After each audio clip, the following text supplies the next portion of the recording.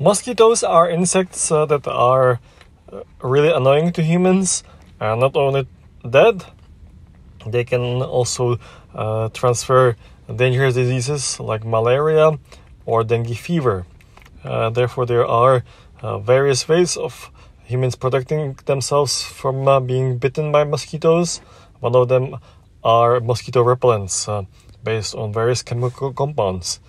The best chemical compound uh, to date uh, to be used in mosquito repellents is DEET, and many people, especially in tropical countries, will know repellents based around this active compound.